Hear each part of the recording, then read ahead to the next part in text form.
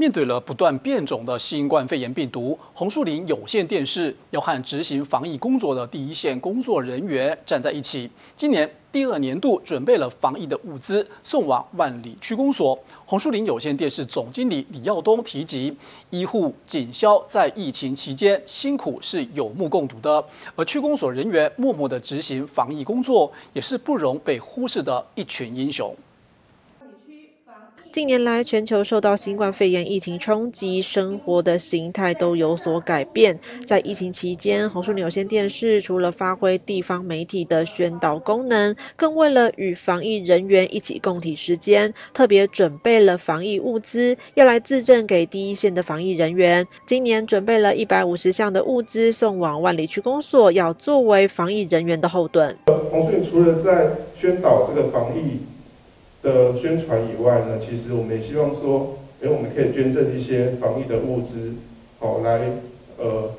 也算是保护我们的一线同仁。那新冠肺炎是看不到的一个，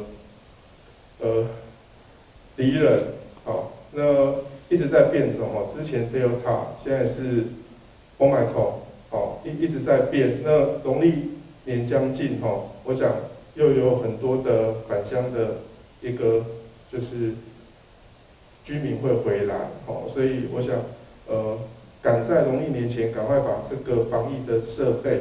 好，然后给工作这边来使用。这已经是第二年度的防疫物资捐赠，挑选额温、耳温双用枪、酒精喷雾枪、便携折叠壶、紫外线消毒盒与不锈钢便当盒保温袋组，希望让第一线的防疫人员在防疫工作上更得心应手，成功将疫情给防守下来。一路以来，真的见证了红树林哈，它这个善尽一个优良企业善尽社会责任哈，那对万里哦也帮助蛮多，那不用讲。做那些低收入哈收视的免费啦，这个一定是都有的哈。那很感谢红树林万里区长细数红树林有线电视一直以来对于区内的弱势协助、社区照顾以及共餐据点、送餐加菜等公益项目。感谢红树林有线每年都细心的关注地方弱势的真实需求，确实的将温暖送到，就像地方的圣诞老公公一般，发挥企业社会责任，将温暖回馈到地方的每一个角落。